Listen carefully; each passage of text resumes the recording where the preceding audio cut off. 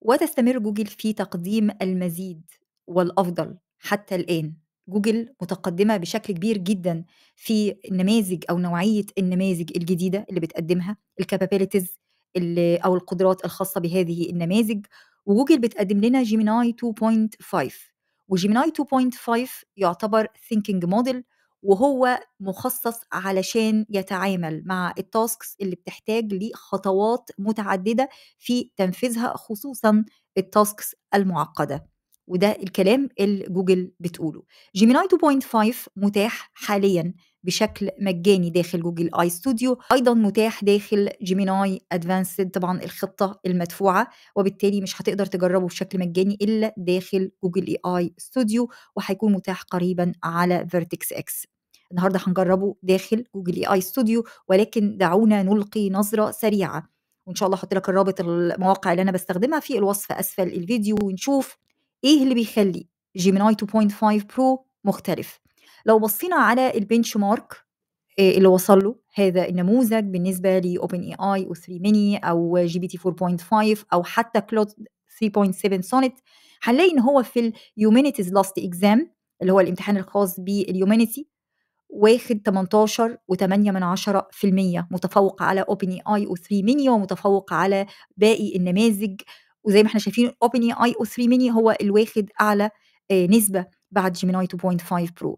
ييجي أيضًا آآ في آآ المقدمة بالنسبة للmath أو بالنسبة للرياضيات بشكل عام، هنلاقيه إن هو متفوق بالنسبة للAIME امتحان AIME آآ 2025 أو 2024 فهو أيضًا متفوق على نظيره OpenAI و3 mini وباقي النماذج. هو OpenAI o3 mini يعتبر هو الtop بعديه على طول. بالنسبة للcoding وده بصراحة المدهش بتجربتي معاه في الcoding على حسب طبعًا خبرتي القليلة، أنتم عارفين أنا باحب جدًا أسمع رأيكم في التعليقات، وبالفعل أنا سمعت رأيكم لمّا كنت باتكلم على DeepSeek version 3.1 وقلتوا إن أنتم فعلًا جربتوه ولقيتوا نتايج مميزة جدًا في الcoding. بالنسبة لLive Code Benchmark فهو 70 و4 من 10 أقل شوية من OpenAI o3 mini. أما بالنسبة لل code editing يعني ال code generation 70 و4 من 10% أما بالنسبة لل code editing فهو بيتفوق كمان على OpenAI o3 mini عشان يوصل ل 74% أما بالنسبة لل reasoning وال visual reasoning نسبة 81.7% آه، بيتفوق على اوبن اي اي جي بي تي 4.5 الاوبن اي اي أو 3 ميني مش بي support الموضوع ده ولكن طبعا بالنسبة ل OpenAI 4.5 أو GPT 4.5 فهو أعلى منه. بالنسبة أيضا لل multi آه، lingual performance أداؤه مع اللغات بشكل عام فهو آه، بيحتل نسبة 89.8% بشكل عام إحنا دايمًا بنقول في الآخر إن التجربة هي خير دليل، مهما شُفنا من charts ومهما شُفنا من جداول وإحصائيات بتطلّعها أي شركة عن نموذجٍ ما، ولكن إحنا بالنسبة لنا كمستخدمين بيكون النتيجة اللي بنحصل عليها من تجربة هذا النموذج هو الفيصل. يالّا بينا نجرب بشكل عملي داخل جوجل AI Studio Gemini 2.5 Pro من جوجل. تروحوش في أي حتة، هنرجع لكم مرة تانية.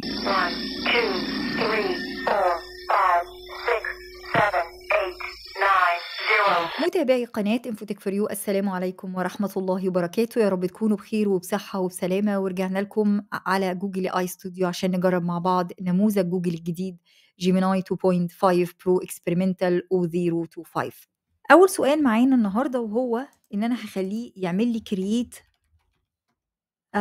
quiz game multiple choice quiz app with Python.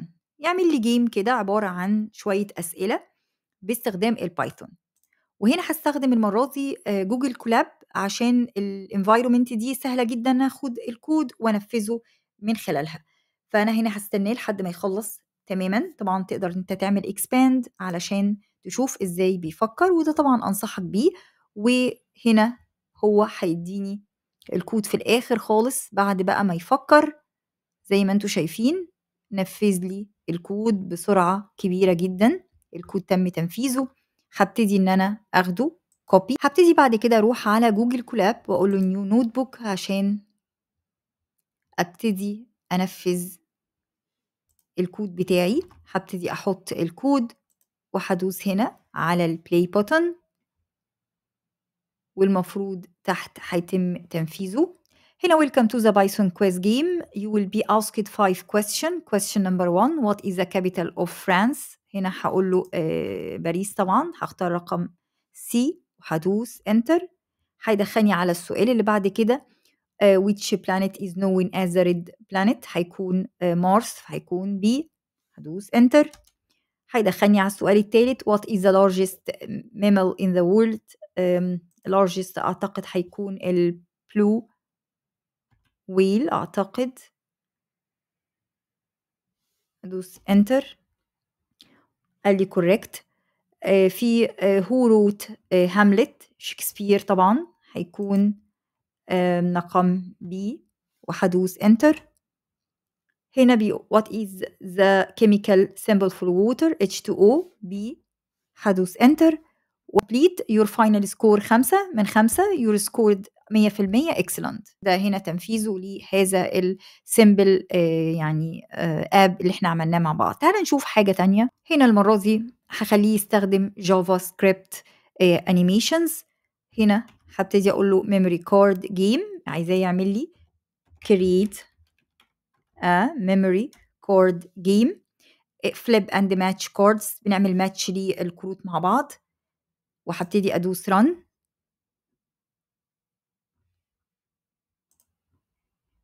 سرعته كويسة جدًا بالنسبة للسرعة، وزي ما قُلت لكم قبل كده السرعة ما تهمناش المهم إن هو يدّيني الكود في الآخر ويتنفّذ، ده أهم حاجة.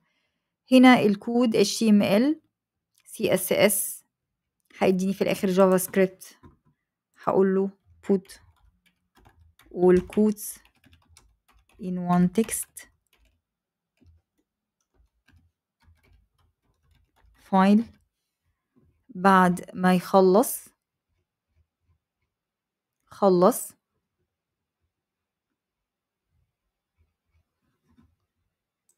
عايزاه بس يحط لي كل الcodes مع بعض.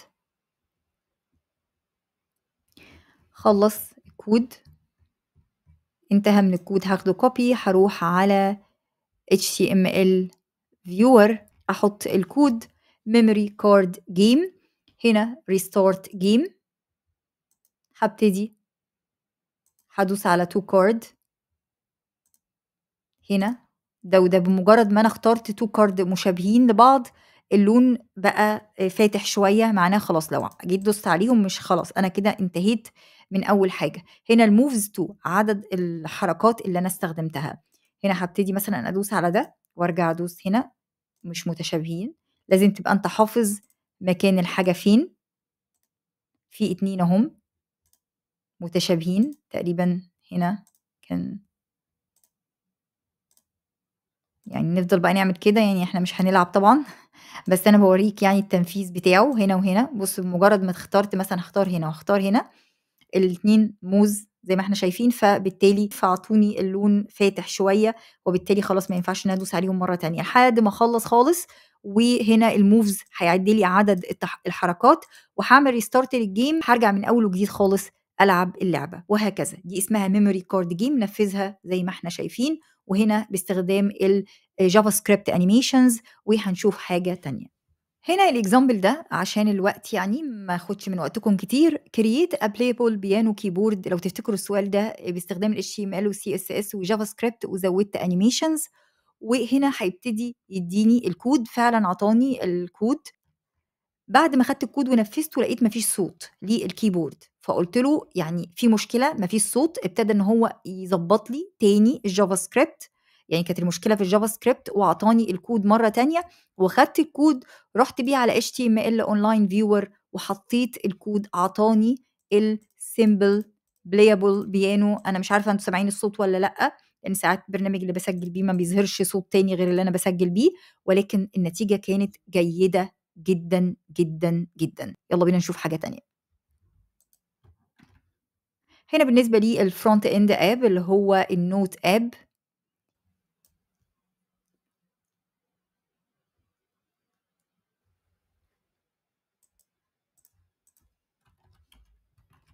ال ده تنفيذه، تنفيذه حلو. هنا هتحط task 1 مثلًا أهو آدي sticky note. task 2 اختار لون تاني وبتعمل delete للtasks هو جيد في الcoding يعني بلا شك، نغيّر بقى ونشوف سؤال تاني في ال التعامل مع النص. سؤال العلامة التجارية.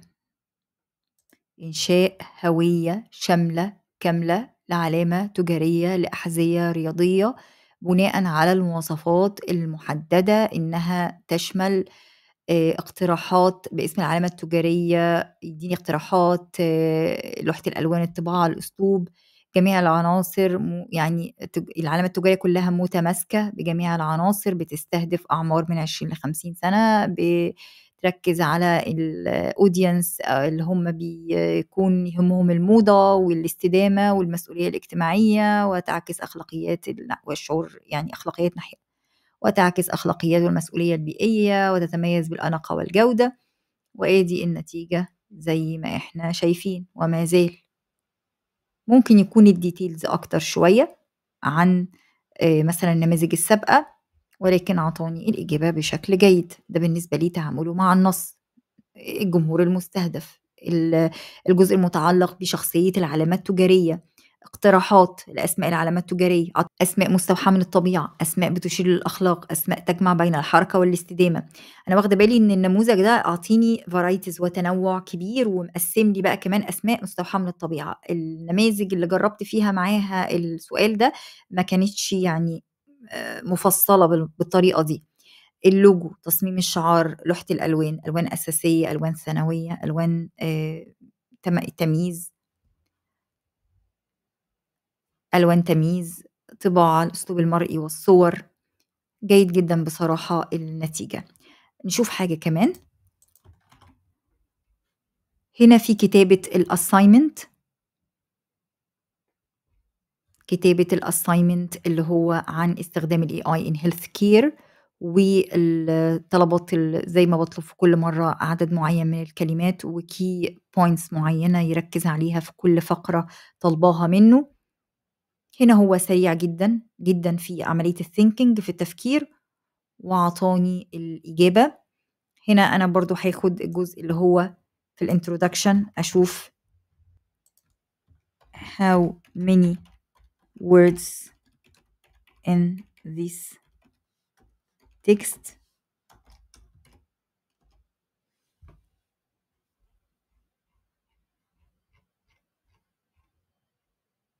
هو لسه ما زال فوق، كان بيكتب وهنا دي الreferences وهنا أنا عايزة أعرف عدد الكلمات الموجودة داخل الintroduction 282 وأنا كنت قايلة له فوق إن يكون العدد من 250 ل300 فهو هنا التزم بعدد الكلمات. تعالَ نشوف حاجة كمان. هنا أنا هاجرّبه في عملية الanalyzing هابتدي إن أنا أرفع له ملف. وهابتدي أقول له إن هو يعمل لي تحليل الPDF إن هو يلخّص لي الcontent ويevaluate الstructure والpurpose ويركّز على الkey strengths والweaknesses نقط الضعف ونقط القوة وما إلى ذلك. السؤال ده أنا استخدمته كتير قبل كده أيضًا في تقييم النماذج، وبعد كده هابتدي أدوس run. طبعًا هنا بالنسبة للtoken count أنت عندك لحد مليون آآ 48576 حاجة كويسة جدًا.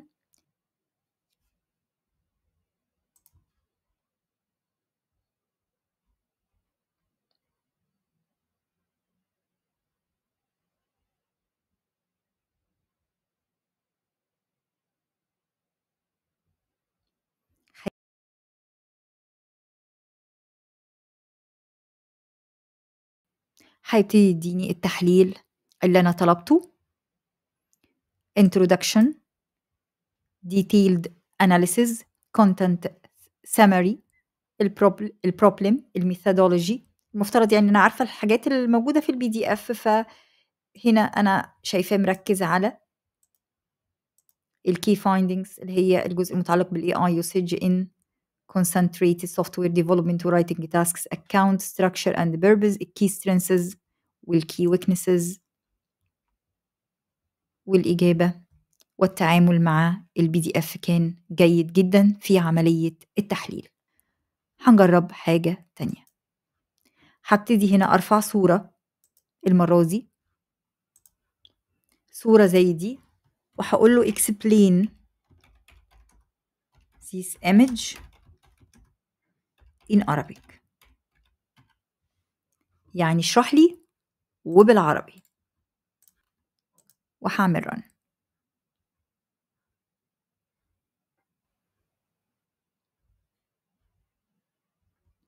هنا بالتأكيد إليك شرح الصورة باللغة العربية. شرح الصورة بيقول لي دي artificial analysis. تظهر هذه الصورة رسما بيانيا. مؤشر تحليل الذكاء الاصطناعي النماذج غير الاستدلالية. الغرض من الرسم البياني إلى ترتيب ومقارنة أداء مجموعة متنوعة من نماذج الذكاء الاصطناعي. بيقول لي إزاي أقرأ الرسم البياني العنوان الفرعي الأشرطة المحور العمودي الأفقي. هنا بيقول لي DeepSeek version 3 اللي اتكلمت عنه الأعلى تقييما. وهنا في ملاحظة.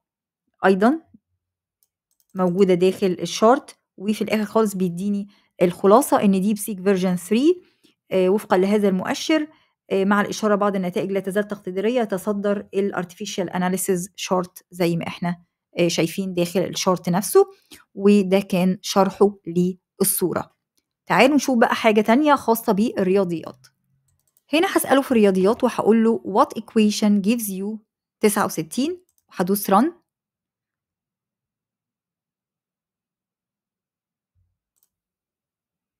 هيديني الاحتمالات.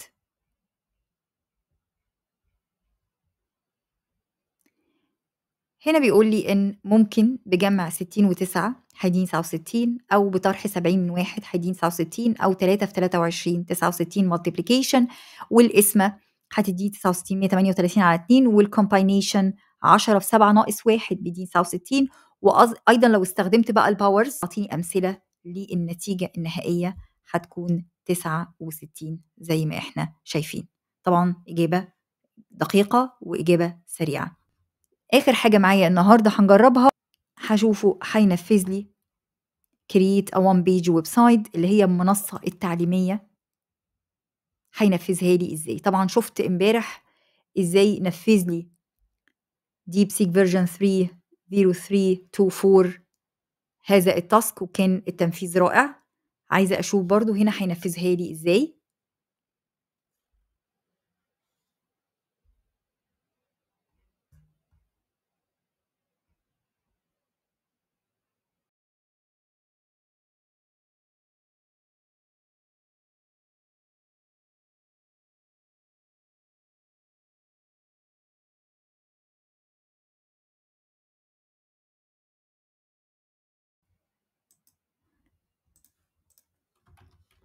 هبتدي أخد الكود احطه هنا. هنا Canva course ال IC 3 course ال AI tools usage digital marketing دي كورسات search courses إلى حد ما كويس جيد. ولكن أنا كنت معجبة بصراحة امبارح جدا ب DeepSeek version 3.1 كان جيد جدا في تنفيذه لهذا الكود ولكن أيضا النتيجة جيدة. وبكده نكون جربنا مع بعض Gemini 2.5 Pro experimental و025 من خلال Google AI Studio طبعا إحنا جربنا بعض ال tasks طبعا أنت جرب وقول لي رأيك في التعليقات. أنا أنا فعلا بستفيد جدا من آرائكم ومن تجربتكم. فياريت ما تبخلوش عليا برأيكم. وفعلا بشكر الناس اللي بتشاركني تجربتها في التعليقات. أنا بستفاد منها جدا. بتلفت نظري لبعض الحاجات ممكن أكون يعني ما خدتش بالي منها أو في بعض ال tasks اللي هم بيعملوها ممكن تكون مختلفة عن اللي أنا بقدمها. فياريت دايما تشاركوني آرائكم زي دايما ما بتعودوني. أتمنى تكونوا استفدتوا من فيديو النهارده على قناة InfoTech 4 You يا رب يكون كل اللي بنقدمه يكون بينال على إعجابكم. أشوفكم في فيديو قادم بإذن الله تعالى. وزي ما بقول لكم في نهاية كل فيديو ما تنسوش تعملوا subscribe للقناة وتفعلوا الجرس عشان يوصل لكم كل جديد. ولو كنتم متابعينا الأعزاء ما تنساش ال like وال share وال comment. دمتم في رعاية الله. والسلام عليكم ورحمة الله وبركاته.